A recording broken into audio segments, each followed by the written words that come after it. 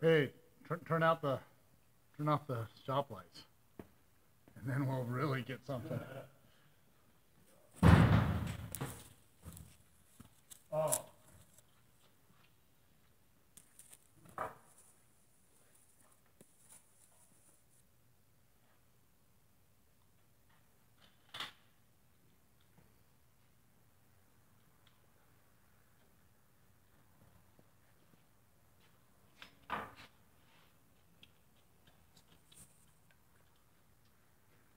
Aaron, see if you can plug this guy in.